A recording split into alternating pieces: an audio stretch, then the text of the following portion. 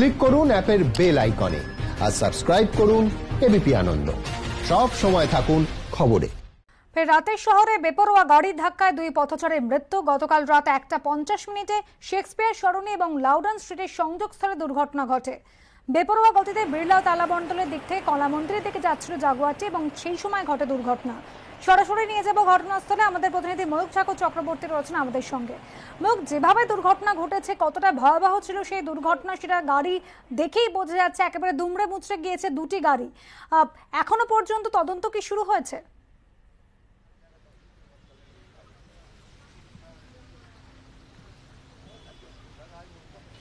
দেখো অনুষ্ঠ প্রথমে তোমায় যেটা জানাই, দুজন এই ঘটনায় মারা গিয়েছেন এবং এরা দুজনই বাংলাদেশের বাসিন্দা। এদের একজনের নাম কাজী মোহাম্মদ মাইনুল আলম। কাজী মোহাম্মদ মাইনুল আলম, ছত্রিশ বছর বয়সী মেল। বাংলাদেশের ঢাকার বাসিন্দা জানিদা ঢাকার বাসিন্দা। এবং দ্বিতীয় যে মারা গেছে, তার নাম ফারহানা ইসলাম তানিয়া। ফারহানা ইসলাম তানিয়া, আঠাশ বছর বয়স, ফিমেল। বাংলাদেশের ঢাকা মোহাম্মদপুরের বাসিন্দা। এই দুজন মারা গেছেন বাংলাদেশি এবং আরেকজন ইনজিওর্ড হয়েছেন ঘাতক গাড়ির চালক পলাতক। এমনটি পুলিশ আধিকারিকদের বক্তব্য। এবার কীভাবে গোটা ঘটনা ঘটলো আমরা বোঝানোর চেষ্টা করব। আমরা এই মুহূর্তে দাঁড়িয়ে রয়েছি থিয়েটার রোড, শেক্সপিয়ার সরণি এবং লাউডন স্ট্রিটের ক্রসিংয়ে আমার সামনে সোজা যে রাস্তা দেখতে পাওয়া যাচ্ছে, এই রাস্তাটার নাম লাউডন স্ট্রিট এবং এই যে রাস্তা, সোজা আড়াআড়ি যে রাস্তা দেখতে পাওয়া যাচ্ছে, বিড়লা প্ল্যানেটোরিয়াম থেকে গাড়িগুলো আসছে আমাদের কলা মন্দিরের দিকে। এই রাস্তাটা হচ্ছে থিয়েটার রোড বা শেক্সপিয়ার সরণি।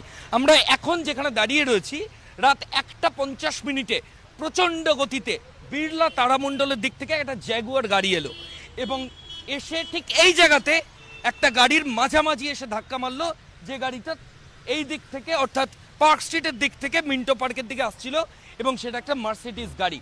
ধাক্কা মারার ইম্প্যাক্ট এতটাই ছিল যে ইস্ট ট্রাফিক গার্ডের কিয়স্ক আছে। যেটা কংক্রিটের, যেটা লোহা দিয়ে তৈরি, এই কিয়স্ক সম্পূর্ণভাবে ভেঙে উড়ে গেছে এবং কিয়স্কের ভেতরে পুলিশ কর্মীদের ব্যবহৃত বিভিন্ন জিনিস, আর সেগুলো কিন্তু ওলট পালট অবস্থায় বিভিন্ন জায়গায় পড়ে রয়েছে।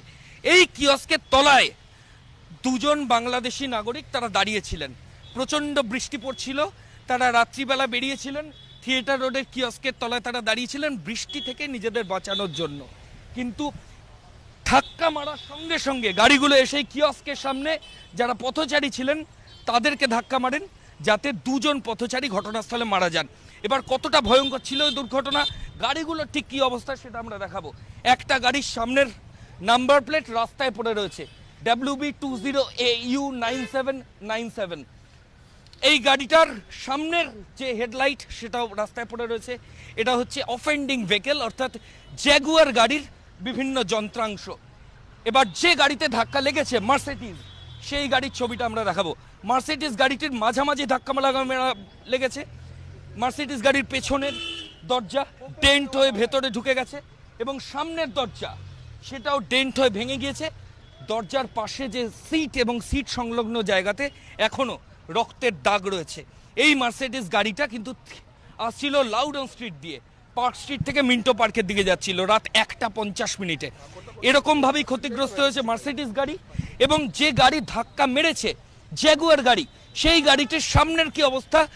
কিছু যন্ত্রাংশ রাস্তায় পড়ে রয়েছে, বাকি যন্ত্রাংশের কি অবস্থা সেটা আমরা দেখানোর চেষ্টা করব। এটা হচ্ছে ওই জ্যাগুয়ার গাড়ি যেটি এসে ধাক্কা মারে, যার চালক ঘটনার পরে পালিয়ে যায়। গাড়ির সামনের অবস্থাটা দেখলে বোঝা যাচ্ছে। বিভিন্ন গার্ড থেকে শুরু করে বিভিন্ন জিনিস, যন্ত্রাংশ, সেগুলো রাস্তার উপর ভেঙে চুরে পড়ে রয়েছে।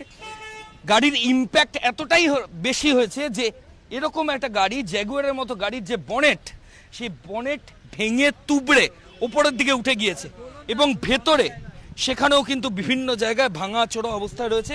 যে চালক ছিলেন, তার ব্যবহৃত বিভিন্ন জিনিস, সেগুলো গাড়ির মধ্যে এখনও পড়ে রয়েছে। গাড়ির চালক অ্যাক্সিডেন্ট করার পর, ধাক্কা মারার পর ঘটনাস্থল থেকে পালিয়ে যায়। বাংলাদেশ হাই কমিশনের তরফ থেকে গোটা বিষয়টা খোঁজ খবর নেওয়া শুরু হয়েছে। দুজন বাংলাদেশি এখনও পর্যন্ত মারা গিয়েছেন। তারা কি এই রাস্তায় এসছিলেন বৃষ্টি থেকে বাঁচার জন্য। তারা ইস্ট ট্রাফিক গার্ডের আউটপোস্টের তলায় দাঁড়িয়েছিলেন। এখনও পর্যন্ত তাই জানা যাচ্ছে। কীভাবে গোটা ঘটনা ঘটলো, সেটা এখানকার যে সিসিটিভি ক্যামেরা, সেটা পুলিশ আধিকারিকরা খতিয়ে দেখবেন এবং সেই সিসিটিভি ফুটেজ পাওয়ার পরই পুরোটা স্পষ্ট হবে। এবার ট্রাফিকের একটা ইনপুট দিয়ে রাখি। রাত্রিবেলা আমার সামনে যে রাস্তা দেখতে পাওয়া যাচ্ছে, এই লাউডন স্ট্রিট এটা কিন্তু নর্থ টু সাউথ চলে। অর্থাৎ পার্ক স্ট্রিট থেকে গাড়িগুলো টুয়ার্ডস মিন্টো পার্কের দিকে আসে। অর্থাৎ এই যে মুভমেন্ট দেখতে পাওয়া যাচ্ছে, রাতেও এই একই মুভমেন্ট হয়। আর থিয়েটার রোড, সামনে শেক্সপিয়ার সরণির যে রাস্তা।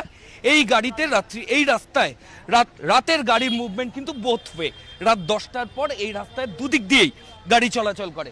অর্থাৎ যেটা মনে হচ্ছে, এখনও পর্যন্ত পুলিশ আধিকারিকদের অনুমান যে শেক্সপিয়ার সরণি থেকে জ্যাগুয়ার গাড়িটি, এই যে সামনে যে সিগন্যাল আছে, এই সিগনাল ভায়োলেশন করে এবং প্রচণ্ড গতিতে আসে এবং আসার পর এই দিক থেকে, থিয়েটার রোড থেকে যে গাড়িটা লাউডন স্ট্রিট থেকে যে মার্সিডিজ আসছিল, সেই গাড়িটা সিগন্যালের থ্রু ছিল।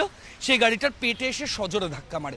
ফলত ট্রাফিক আইন ভায়োলেশন করে সিগন্যাল ভেঙে প্রচণ্ড গতিতে এই ঘটনা ঘটেছে রাত দুটোর সময়। দুজন বাংলাদেশি মারা গেলেন, একজন গোটা ঘটনা ইনজিওর্ড, ঘাতক গাড়ির চালককে পুলিশ খুঁজছে। ধন্যবাদ ময়ূক